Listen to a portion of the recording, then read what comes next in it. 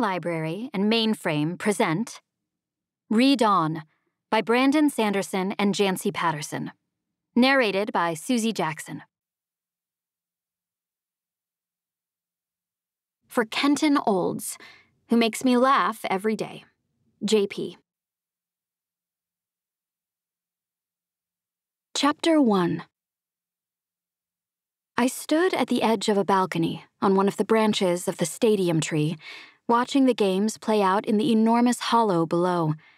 This particular tree had been chosen for its shape branches reaching out horizontally and then curving up and inward like the sides of a massive vase, large enough that the spectators on the far side appeared to be nothing more than rows of rippling dots.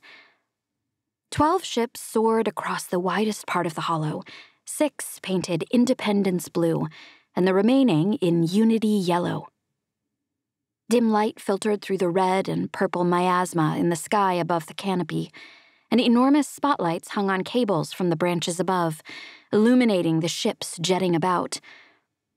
Above the spotlights, just beneath the huge, sweeping branches, a hologram enlarged the skirmish and I watched as one of the Independence ships broke away from the pack, dodging a barrage of laser fire, and slipped through the hoop marking the goal. Cheers rang through the stadium, and the mining corps that sponsored this match lit off a round of fireworks in Independence blue. With three goals so far, the Independence team was winning. At least we were winning at something. Beside me, Rinakin, my advisor in the Cytonic training program, half heartedly waved an independence pennant, a twig with a blue fabric leaf attached at the top. While most in the stadium wore garments of yellow or blue, Rinakin dressed entirely in black, though at least his jacket had a bluish sheen. He was taller than me, and his skin had a slightly rosier tint to it, both traits which indicated his ancestors came from Reaching Tree. In the days before ship travel, the denizens of each tree only intermixed when the trees bumped into each other across the miasma. Now that Rinakin had lost his council seat in the wave of unity appointments, we were more or less equals, him as the leader of the Independence Party, and me as a Cytonic. That felt strange. He was many seasons older than me, and much wiser, and yet, here we were, now essentially the same status, even if I didn't have his experience. It is good to have you home, Alanik, Rinakin said. I was worried about you. It is good to be home, I said, even if it means I failed. Many of our people have failed between these branches, Rinakin said. That was true. I remembered a time when failing in the games had felt like a tragedy. The stakes here were personal. Members of the winning teams of even the Junior League championships could expect to secure top spots as transit and cargo pilots, or appointments to the Air Force. Not that Redawn had seen actual combat for generations. I'd skipped over all that when my cytonic powers had manifested. I'd jumped from the junior leagues straight to the upper echelons of the fighting corps. As one of only five living UrDail cytonics and the only capable teleporter, I was theoretically invaluable to my people's survival. Not that I'd done them much good during my last mission. I sighed, leaning back against the wooden seat carved into the branch of the tree. The island trees floated in the miasma of Redawn, their roots planted in large chunks of naturally occurring acclivity stone.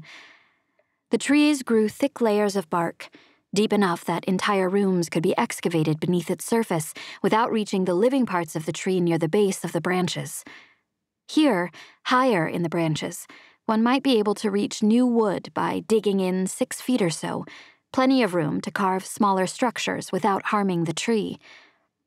This balcony and all of its seating had been meticulously carved into the bark, making it a part of the huge living stadium. It was good to be back beneath the familiar branches, but. I was supposed to bring back the secret to hyperdrive technology, I said. Instead, I gave the opportunity to the humans. They'll try to make peace with superiority. make the same mistakes we have made. Perhaps, Rinakin said. I'm more concerned that we will make the same mistakes we have made. Given the number of yellow pennants flying in the stadium, the fear was reasonable. Besides, we have information now, Rinakin said. Not the information you left to retrieve, but important information all the same. Much less important, in my mind. But Rinakin had a point. Many of my people believed the humans had been exterminated for their refusal to capitulate, for their stubborn insistence on fighting for freedom instead of assimilating into the superiority. Humans were a cautionary tale, a justification for the appeasement policies that gave the superiority more and more control over Redawn. If it became known that the humans were alive, that they had somehow managed to resist all this time. Indeed, that they were beginning to break free from the superiority's forced imprisonment. It would be a huge blow to the unity movement. A weakness I hoped we could exploit to drag some kind of success from my failure. Which was why I wanted to keep the information from Unity for as long as possible. We needed to figure out how to use it before they did. Below, the teams lined up for another bout. As per the rules, the Unity team would now appoint a stringer, the ship whose job it was to cut across the battlefield and make it to the opposing team's hoop without getting tagged by the lasers.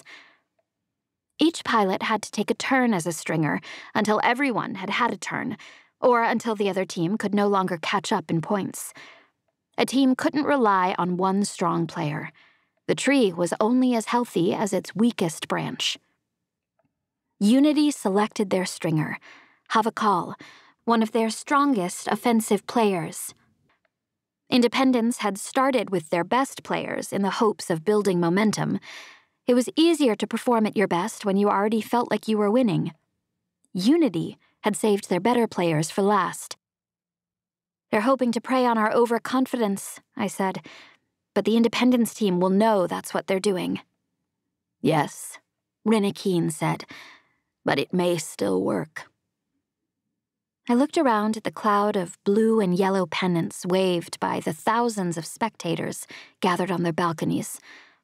The colors were about even, which should have been a comfort, but they hadn't been even in the council balancing when Unity swept the council seats, demolishing the independence majority. I'd been gone for 19 sleep cycles, missing the balancing entirely. I'd left hoping to discover the secret that would free my people from superiority control. If I had succeeded and returned before the balancing, the wind might have swept in our favor. But I'd returned with nothing, only to find us closer to bondage than ever. I glanced over at Rinakin. He'd intimidated me at first, but though he expected a lot of me, he was never discouraging, only intense in fact, there was an intensity about him even when he was relaxed. Rinakin wasn't a cytonic himself, though he'd mentored most of the UrDail cytonics as we'd come into our powers. The other cytonics were all working with Unity now, and because the superiority designated us as dangerous, they'd agreed to use their cytonic abilities only under council supervision. We were dangerous to the superiority. I would give them that. Rinakin kept his focus on the hologram above. I'd attended games with him before, but when I'd been in training, there had always been some lesson I was meant to learn, some larger goal. Today, we were here to keep up appearances, prove I wasn't hiding from the Council and their questions since my return four sleep cycles before, even though I was. The private balcony did afford us an opportunity to talk out of earshot of others. That was a luxury on the populous trees of Redawn. At least people are still flying our flag, I grumbled. Yes, Rinakin said, but most of them have forgotten this is more than a sport. They remembered when they cast lots in the last council balancing. That too is a sport, Rinakin said.